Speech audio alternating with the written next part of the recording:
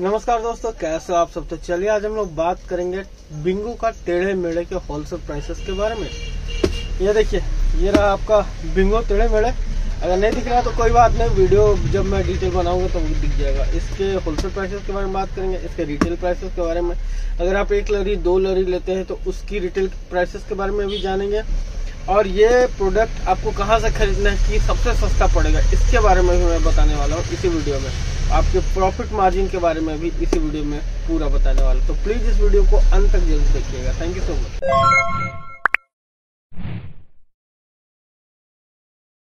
चलिए दोस्तों, शुरू करते हैं बिल्कुल टेढ़े मेढ़े के डिटेल से कि आखिर इसमें डिटेल क्या दिया हुआ रहता है कार्टून में। और ये रहा आपका पाँच से दस, पचास परसेंट तक का एक्स्ट्रा बोलता है ये, कि कुरकुरे इसमें जो रहता है, टेढ़े मेढ़े वो देते हैं। नमकीन, टेढ़े मेढ़े, ठीक है? एक्चुअली ये क्यों लिखता है? ये शायद मेरे को लगता है अपने कंप्यूटर से अपने आपको ज़्यादा दिखाने के लिए ये लिखना पड़ता है कि फिफ्टी परसेंट मैं एक्स्ट्रा दे रहा हूँ, ठीक है? और सबसे बड़ी बात, ये देखिए, ये किस कंपनी का ये प्रोडक्ट है? आईटीसी आपको पिछले बार भी मैंने बताया था आईटीसी का प्रोडक्ट क्या है? आशीर्वाद आटा है, जो सबसे ज़्यादा फ़ेमस है। उसके बाद सिगरेट्स, जितने सिगरेट सब आई के तो ये उसी कंपनी का है, ये बिंगो का टेढ़े मेढ़े आई कंपनी का ही। चलिए इसके कुछ डिटेल्स के बारे में जान लेते हैं। तो ये देखिए कंटेंट टू फोर्टी पैकेट्स ठीक है? इंटू बीस ग्राम, यानी एक पैकेट जो आता है, वो बीस ग्राम का आता है, और ये दो सौ चालीस पैकेट है ऐसे ऐसे, ठीक है? ये पूरे में। यहाँ पे कुछ डिटेल्स दी है मैनुफैक्चरिंग यूनिट इनके, इतने सारे हैं इंडिया में तो सारे को इन्होंने डिटेल दे रखा है। और मार्केटेड बाई यानी ये बनाता नहीं है खुद शायद नहीं, बनाते भी है। और मार्केटेड बाई और मैनुफैक्चर्ड बाई ये मार्केटिंग के अंदर आ जाता है कि आईटीसी कंपनी को मार्केटिंग करना है तो ये इसलिए मार्केटिंग अलग लिखा होता है मैनुफैक्चरिंग अलग होता है। ठीक है? और तो कुछ इसमें डिटेल जानना नहीं है। अगर आप कहीं से भी पूरा कार्टून लेते तो ये देखिए, ये सील पैक होना चाहिए। ये ध्यान रखें बिंगो फैक्ट्री पैक्ड ये देखिए इंडोरिंग value Bingo factory packed factory packed factory packed देख रहे हैं आप? तो सारा ये सब डिटेल होना ही चाहिए इसमें। आइए, इसको अनबॉक्सिंग करते हैं इसकी। अभी मैंने जस्ट इसे खोला है। और ये रहा आपका सबसे ज़्यादा बिकने वाला है ये टेढ़े मेढ़े।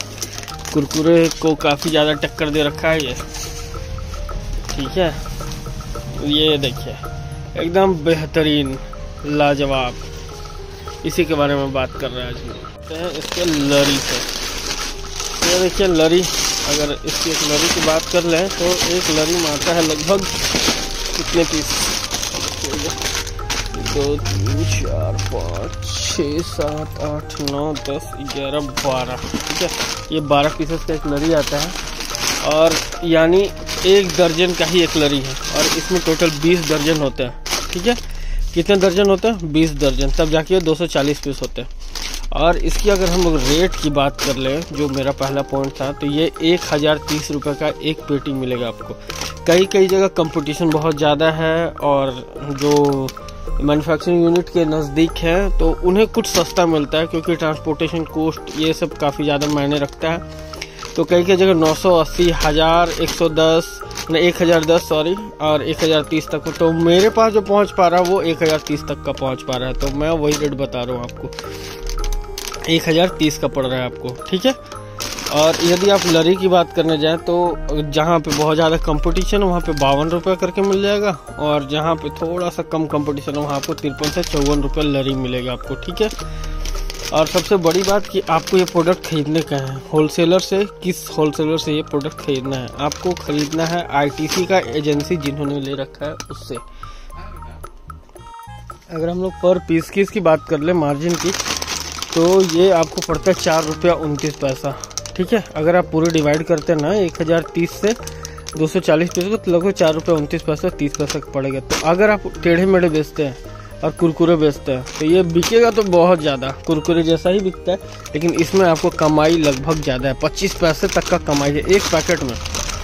एक पैकेट में पच्चीस पैसे का एक्स्ट्रा कमाई मिलेगा आपको टेढ़े मेढ़े में। तो कोशिश कीजिए कि जहाँ कमाई है आपको, वो ध्यान देना है। क्योंकि कस्टमर को भी अच्छा लगे कंपनी ब्रांडेड है तो बिकेगा भी अच्छा और आपकी भी मुनाफा बढ़ते रहेगी। मैं किसी की प्रमोशन नहीं कर रहा, लेकिन एक ओवरव्यू मैं बता रहा हूँ रेट के अकॉर्डिंग कि क्या आपको लेना चाहिए, क्या नहीं लेना चाहिए, ये मेरा एक पर्सनल सजेशन है। ठीक है भाइयों तो इसमें मैंने सारा कुछ कवर कर दिया। आई होप दोस्तों ये वीडियो आपको काफ़ी अच्छी लगी होगी। मैंने पाँच रुपये के ट्रेडिंग मोडल के बारे में बताया। आगे आने वाले वीडियो में मैं बिंगो के ही एक दो प्रोडक्ट्स के बारे में मैं बताने वाला हूँ। मैड एंगल्स ये सब के वीडियो मैं पूरे बनाने वाला हूँ। तो आप प्लीज़ इस वीडियो को लाइक कर लीजिएगा। अगर चैनल को सब्सक्राइब कर लिया तो प्लीज़ इस वीडियो को शेयर कर दीजिएगा। आपका बहुत बहुत धन्यवाद। थैंक यू दोस्तों।